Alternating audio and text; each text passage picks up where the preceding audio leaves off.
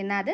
அஜித் வந்தா மட்டும் போதுமா? லோகேஷ் அளவுக்கு நல்ல கண்டென்ட் கொடுமேன் நயன்தாரா புருஷனை நாக் அவுட் பண்ணும் ரசிகர்கள். ரீசெண்டா நடந்த சினிமா டைரக்டர்ஸோட ரவுண்ட் டேபிள் ஃபங்க்ஷன்ல டைரக்டர் விக்னேஷ் சிவன் லோகேஷ் கனகராஜ் கௌதம் மேனன் ஹலிதா ஷமி மாதிரியான பிரபல டைரக்டர்ஸ்லாம் கலந்துட்டு இருந்தாங்க. அப்போ ஏகே சிக்ஸ்டி செவன் படத்தை டைரக்ட் பண்ணிருக்க விக்னேஷ் சிவன் பேசின சீன்ஸை பார்த்த நெட்டிசன்ஸ்லாம் அவரை பயங்கரமா சோஷியல் மீடியால ட்ரோல் பண்ணிட்டு இருக்காங்க. இந்த வருஷம் விக்னேஷ் சிவன் டைரக்ஷன்ல ரிலீஸ் ஆன காத்து வாக்குல ரெண்டு காதல் படத்துக்கு ஒருத்தரை ரெண்டு பொண்ணுங்க எப்படி துரத்தி துரத்தி லவ் பண்றது மாதிரி படம் எடுப்பீங்கன்னு பெரிய சர்ச்சை கிளம்பினது நோட் பண்ண வேண்டிய விஷயம். அந்த பேட்டியில பேசியிருக்க டைரக்டர் விக்னேஷ் சிவன் அஜித் எனக்கு எந்த ஒரு ப்ரெஷருமே கொடுக்கல. ஆக்ஷன் படமா எடுக்கணும் அப்படின்னு எந்த ஒரு நிர்பந்தமும் வைக்கல. உங்க இஷ்டத்துக்கு உங்க ஸ்டைல படம் பண்ணுங்க அப்படின்னு ஃபுல் ஃப்ரீடம் கொடுத்திருக்காருன்னு விக்னேஷ் சிவன் பேசினது சோஷியல் மீடியால ட்ரெண்ட் ஆயிட்டு இருக்கு அஜித் ஆக்ஷன் படத்துல தான் நடிக்கணும். அதிரடி தான் காட்டணும் அப்படின்லாம் அவரோட ஃபேன்ஸும் விரும்புறது கிடையாது. அவரோட ஸ்கிரீன் பிரசன்ஸ் மட்டும்தான். அவர் வந்தா மட்டும் போதும்னு காத்துட்டு இருக்காங்கன்னு டைரக்டர் விக்னேஷ் சிவன் அந்த பேட்டியில பேசின வீடியோ கிளிப்பை ஷேர் பண்ண நெட்டிசன்ஸ்லாம் டைரக்டர் விக்னேஷ் சிவனை பயங்கரமா கலாய்ச்சிட்டு இருக்காங்க அதே டைம்ல அந்த பேட்டியில பேசின டேரக்டர் லோகேஷ் கனகராஜ் ஃபேன்ஸ் ரொம்பவே தெளிவா இருக்காங்க.